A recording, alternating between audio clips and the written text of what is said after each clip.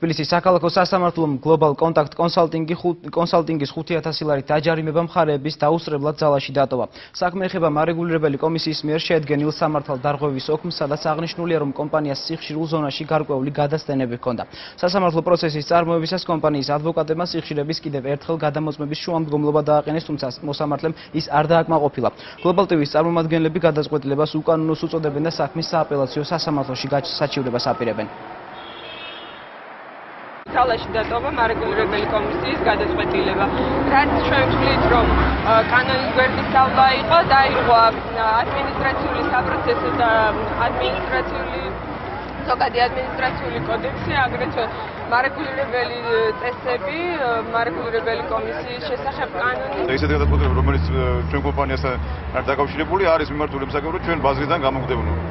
ჩვენ შეგვიშალონ ხელი. ეს არის რეალურად, ქვია, სასათბურე სიტუაციის შექმნა ჩვენი კონკურენტი კომპანიებისათვის და პირველ რიგში ისეთი კომპანიის როგორც არის Lexis-ი